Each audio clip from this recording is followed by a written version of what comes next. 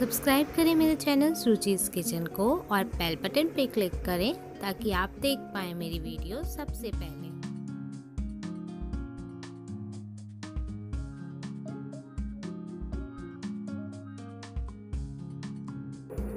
Hello friends welcome back to my channel आज की video में मैं आपके साथ शेयर करूँगी अगले सूजी पैनकेक की रेसिपी अभी तक आपने बहुत सारे टाइप के पैनकेक बनाए होंगे तो इस रेसिपी को भी एक बार ज़रूर ट्राई कीजिएगा। इसे बनाना बहुत ही आसान है और खाने में बहुत ही अच्छी लगती है। मुझे उम्मीद है आपको ये पसंद आएगी।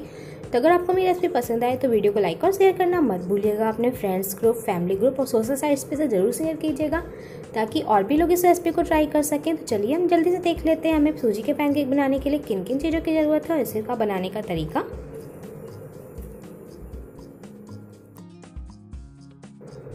एगलेस सूजी पैनकेक बनाने के लिए हमें चाहिए 250 ग्राम बारीक सूजी, दूध आवश्यकता अनुसार नमक, चीनी, बेकिंग पाउडर और रिफाइंड ऑयल।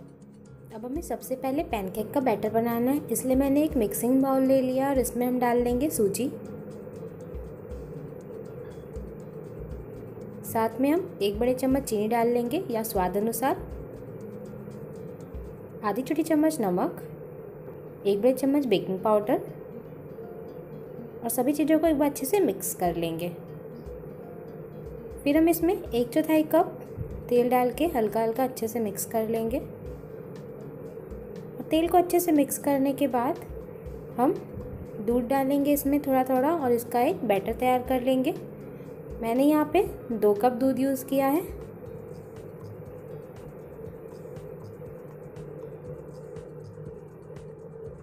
तो देखिए, हमारा बैटर बन के तैयार हो गया है। हमें इतना ही गीला बैटर चाहिए।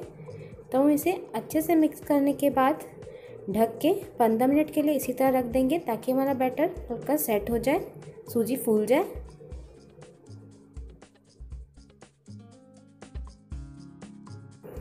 अब पंद्रह मिनट बाद हम इसे एक बार अच्छे से मिक्स कर लेंगे। आप देख सकते हैं, सूजी फूल गई है और हमारा बैटर थिक हो गया है। तो पैनकेक बनाने के लिए हमारा बैटर तैयार है। तो हम इसका पैनकेक बनाएँगे, जिसके लिए मैं एक पैन गरम कर लूँगी। अब पैनकेक बनाने के लिए मैंने एक नॉनस्टिक का पैन गरम कर लिया है। तो इसमें हम स्पून की मदद से हल्का सा बैटर डालेंगे और इसे अच्छे से सर्कल में फैला लेंगे। हमें फ्लेम लो रखनी है और लो फ्लेम पे इसे एक से डेढ़ मिनट इसी तरह से कुक करेंगे, ताकि हमारा पैनकेक एक साइड से अच्छे से कुक हो जाए।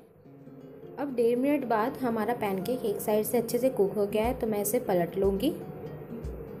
देखिए, इसमें कितना अच्छा कलर आया है और दूसरे साइड से भी इसे एक मिनट के लिए लो फ्लेम पे कुक करेंगे ताकि दूसरे साइड से भी अच्छे से कुक हो जाए।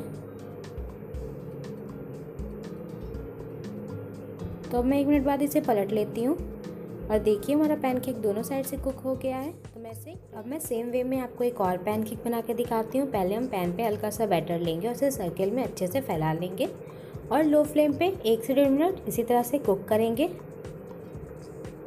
अब डेढ़ मिनट बाद हम अपने पैनकेक को पलट लेंगे। तो देखिए, एक साइड से हमारा पैनकेक अच्छे से कुक हो गया है। तो दूसरे साइड से भी इसे एक मिनट लो फ्लेम पे कुक करेंगे। और एक मिनट बाद हम इसे फिर से पलट लेंगे।